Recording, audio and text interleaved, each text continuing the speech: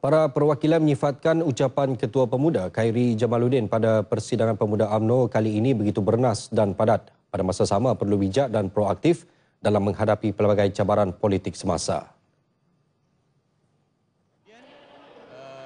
Saudara KJ juga menyentuh tentang peri pentingnya peranan pemuda AMNO dalam memastikan uh, gerak kerja berkaitan dengan pilihan raya itu pilihan raya dapat disusun atur dengan lebih baik. Dengan izin dia mengatakan it's about local tempatan.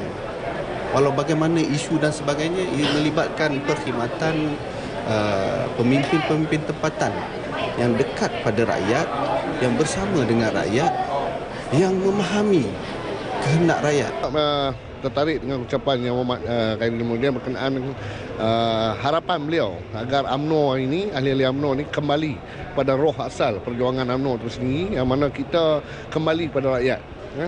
kita tak meletakkan uh, kepentingan peribadi kita melebihi daripada kepentingan untuk menjaga kebajikan rakyat dan insyaallah kita kami merasakan pemuda UMNO hari ini telah berada uh, di takau uh, yang uh, seperti mana yang Muhammad Khairi nak